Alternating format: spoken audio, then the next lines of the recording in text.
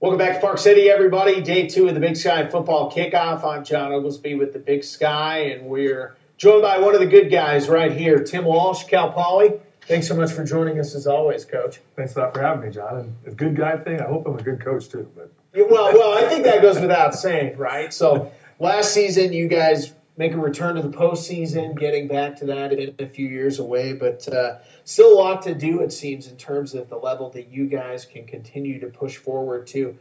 As you reflect on last season, what are some of the things that you took away that uh, really set you up for this year? Well, I don't think there's any question. If you just look at the Big Sky in general, I mean, the balance of power is shifting. You know, I mean, ten years ago, and I'm sure Jerome would say the same thing. Is you know, every time you come in and see a media poll, the University of Montana would be first and foremost on everybody's mind.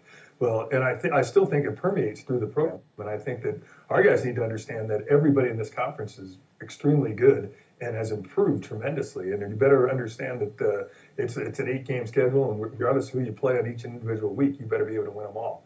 I think that's number one. And then number two, I think that you know you have to when you get the opportunity to get to the playoffs, you have to take advantage of every opportunity. Losing at home was probably a not a great moment for me in my years of uh, coaching, but uh, it's something that we can learn from and hopefully improve because uh, we went through that experience. You've been around the Big Sky a long time, year after year after year. You keep pushing forward. But the nice thing that I've always seen about you in the time I've been around you, you still have the same spring in your step, it seems, this time of year, year after year. Is that an accurate assessment?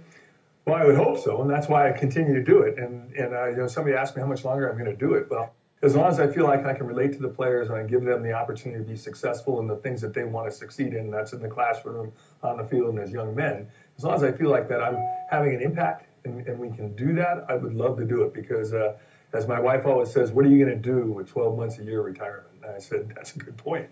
There's certain things I love to do. The reality is, 12 months is a whole year. And uh, this is a time consuming job and it takes great energy, but it has great rewards too that process you talk about uh, the 12 year commitment that it takes to be able to do this job you and i've talked though about kind of the, the great work life balance you have you're a good football coach everybody knows that but i think you're also pretty good at doing other things outside of football when you have time to. How much is that ability to step away from the field sometimes and enjoy life helped you to keep your career feeling fresh you know as far in as you are well, I think the tech the, the tech world has definitely changed trying to get away from your job. I'll Yeah. tell you that much because everybody knows how to get a hold of you when they need to get a hold of you. But the reality is, if, if you want to be fresh and you want to be good, there are other things in life, you know. And, and, and our job is demanding, and and when it's game time, which is a, a lot of months out of that year that you talked about, but I mean, you're talking about seven hard days a, a week.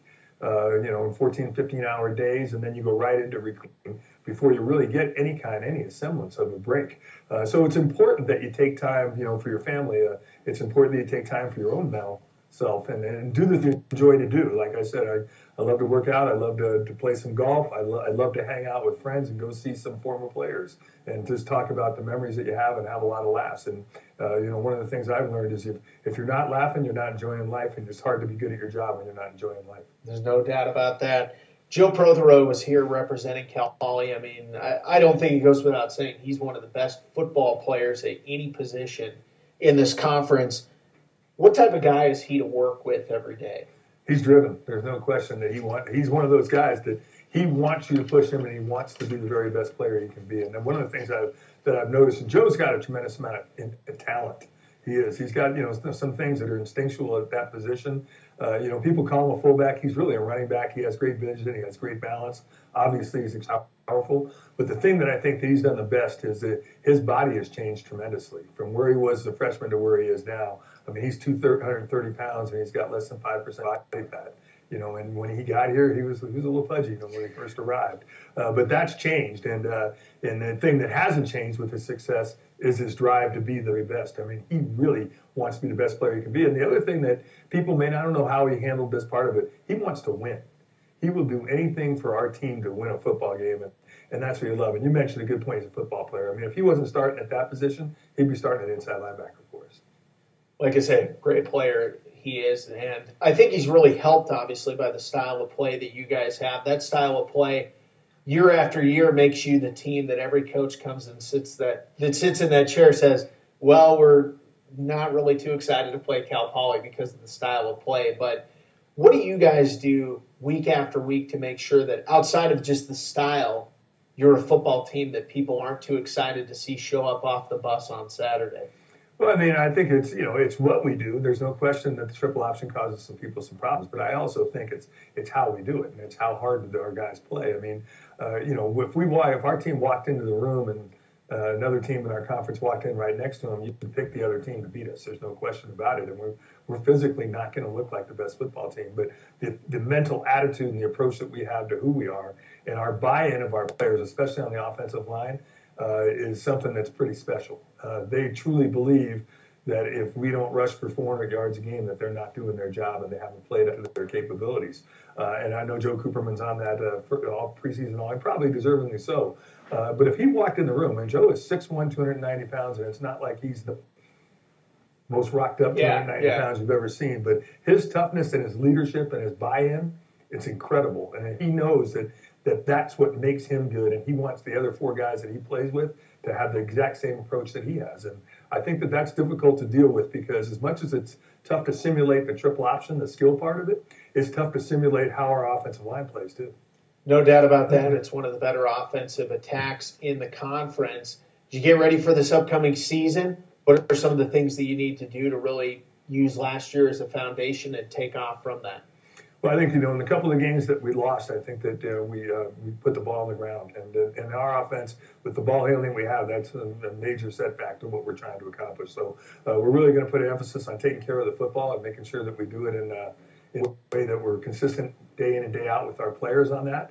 I think secondly, I think that it, you know it goes to the defensive side of the ball. We need to be better on defense, and probably every coach in the room is saying that. But with uh, run pass options and all the things that people are doing on the offensive side of the ball, the spread offenses and and all those things. Uh, you know, you, you need to make sure that your players understand that 24 to 25 points a game is not a bad football game to play.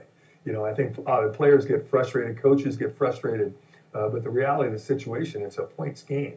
And, uh, you know, if we're averaging 38 points a game on offense and we're holding opponents to 24, we're going to win our share of football games. So it's creating a mentality on defense that isn't going to say that I understand I'm going to give up 24 points. I don't want that attitude, but understanding that it's a long haul, it's a long grind, and that uh, you know something does happen in a game where they go 75 yards for a touchdown. All right, play the next play, and, and forget that one, and make sure that we limit those things. So those are the two areas we're really going to emphasize. Well, we'll see how that emphasis plays out for the Mustangs this season.